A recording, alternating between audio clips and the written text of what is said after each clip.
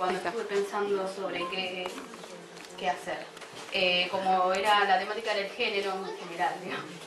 Eh, yo fileteé a una mujer eh, luchadora de los derechos humanos.